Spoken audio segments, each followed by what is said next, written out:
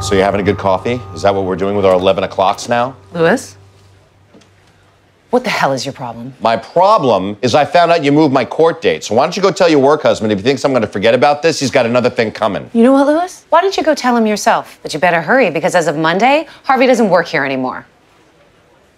What? You heard me. Harvey's leaving. My life is a mess. And as far as I'm concerned, that's on you. Me? What do you mean me? If you can't figure out what I mean by that, then you may be a good junior partner, but you got a long way to go as a human being.